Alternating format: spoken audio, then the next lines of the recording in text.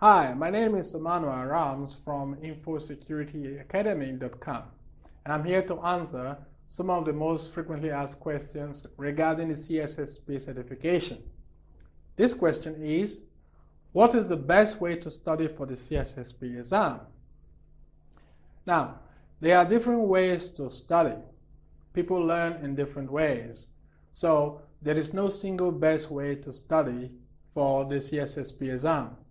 The way you choose to study depends on many factors like how would you like to study and the budget you have and the time you have available for the study.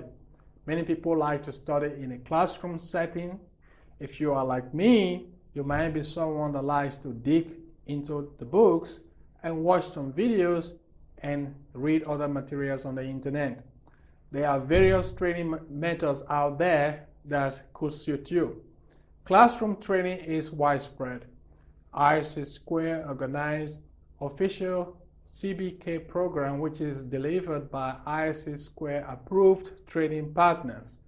These trainings are mostly very expensive and requires you to make yourself available for an entire week to receive the training.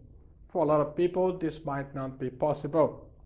Now, if this type of training is not your style or within the reach of your budget, then you might want to pick up a good book from Amazon.com and start to plow through it. There are many books out there. Please check out some of my favorites on my website and you will learn how to choose the right book and the best books for the CISSP certification. Another great method of studying for the CISSP exam is via internet or online learning. Online learning comes in various forms. My preferred method is a combination of videos and written text.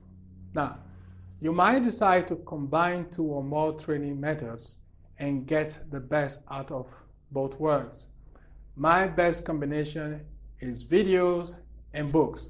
I like training videos because of, because of the flexibility and affordability, and it saves me a lot of money. So, I hope this is uh, clear uh, to you, and I'd like to see you on, on my website while I answer other great questions regarding the CISSP certification. Please, I invite you to check out the URL under this video and check out some of my great videos on my website, and I'll see you then. I wish you luck for your CISSP certification, and I hope that you get what you want. Thanks.